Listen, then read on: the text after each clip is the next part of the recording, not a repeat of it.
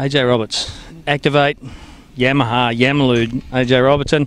You know what, mate? You know, I've uh, you've been a rider all your life, and the last couple of years worked your way into the team management role, and uh, tried to do both there for a while. But I've got to say, the last uh, the last few months have really been sort of coming of age in a lot of ways as a team manager for you.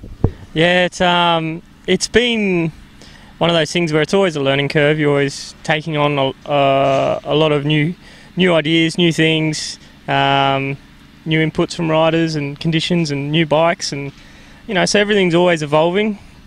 And um, you know, this year was sort of going okay. We were building quite well, you know, step by step, and then at Finke um, we got off to a good start in qualifying, and as a team, both of us, Josh and, and I, were in the top ten. And but yeah, through the race there at the beginning, I, I hurt my neck, and so definitely um, felt that, and um, it um, it hurt me a bit through the next national. It started to play up there. I had a small low side, and it was just um, building more pressure on my neck. And you know, I did get X-rays and stuff like that, but I probably should have got an MRI to see more soft tissue damage than anything. And um, and so I, I, couldn't do Hattah, and I couldn't um, I couldn't do the four day. Um, because I didn't really know what was wrong, and it got to a point where I was struggling to even get out of bed. So I just really had to focus on Tom and Josh and make sure they were right, and um, uh, you know, and and just push through it. And it seemed to come together, and had a lot of help from um, guys that we bring in too, you know, and um, especially Tom's dad and, and family. They they come in and they give me a lot of support as well. So it, it all it all works and, and pays off, but you know it's not an easy thing for sure. Well, let's just work through it. I mean, um, you know, really don't want to, you know, you just really can't. Uh, underestimate the importance of the win. I mean, you know, you guys were really the first guys to win on WR450F when you won an outright uh, round in the um, in the off-road series, which, which, is a pretty big thing. You know, Josh on his debut at Finke, run second. You know, running the YZs yeah. out there, and then you know after you guys, I think went two three. Uh, you or Greeny and you last year in uh, first or his first ever Hattah. You know, he's come out and win the, won the thing outright. So uh, got to be pretty gratifying for you, huh? Yeah, well, it's just uh, you know.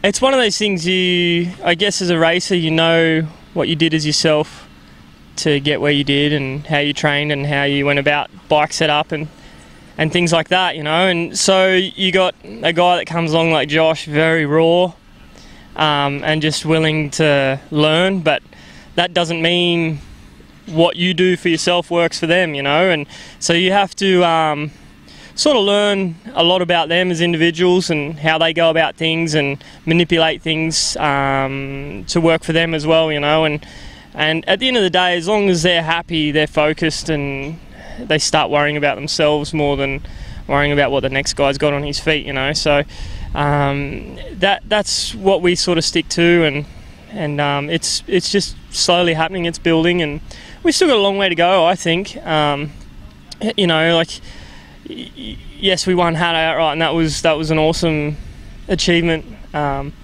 but you know, for me, you just like I always want to win. You know, every race we're in, and I know Josh does, and I know Tom does, and that's that's the pinnacle. And um, I, I, think you know, with the riders that we have on the team, we can do that.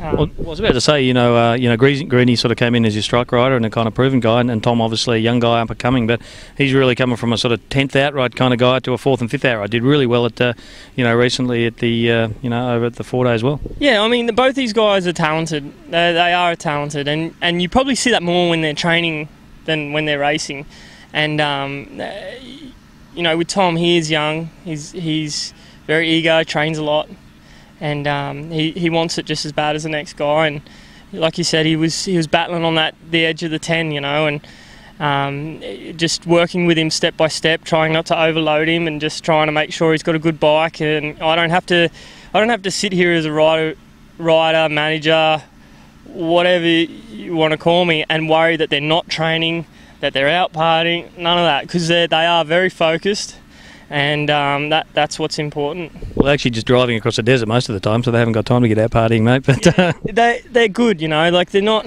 they they help. They contribute to the team. You know, they don't just rock up and, and ride. You know, they they they help. They're they're good value, and um, they're not spoilt, and they work hard, and I think they appreciate every opportunity they got, and I just try and give them the best I can. Mate, congratulations. It's been really, uh, like I say, a bit of a coming of age. Great, great to see you getting some results, and uh, you know, all the best for the rest of the season. Yeah, thank you.